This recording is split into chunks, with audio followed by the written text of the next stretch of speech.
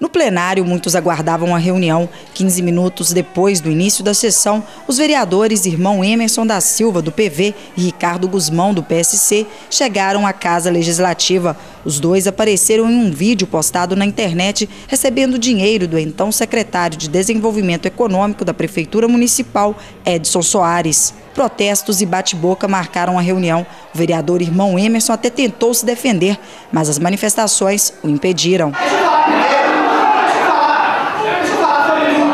Emerson e Ricardo afirmaram que os maços de dinheiro colocados nos bolsos da calça, como mostra o vídeo, é fruto de empréstimo pessoal com o então secretário Edson Soares. Tem dinheiro meu, tem troca de cheques minha, tem nos bancos endossado no Sidcop em nome do Edson. Agora cabe eu provar que eu paguei pelo dinheiro. Nessa ocasião, né, eu fiz esse empréstimo com ele e foi assinado um termo de confissão de dívida. Os manifestantes que impediram o pronunciamento do irmão Emerson durante a reunião permaneceram aqui na porta da Câmara Municipal Municipal de Caratinga, à espera da saída dos outros parlamentares também envolvidos na denúncia de um suposto suborno na prefeitura da cidade. Depois de uma hora, irmão Emerson e Ricardo Guzmão deixam a Casa Legislativa e saem no mesmo carro. A população protesta pessoa pública é para ajudar as pessoas mais necessitadas, olhar os, a cidade, olhar que a cidade precisa. Vergonha que não tem, né? Uma dor de respeito para com o povo de Caratinga, né? Se gritar, pega ladrão. Hoje não fica um.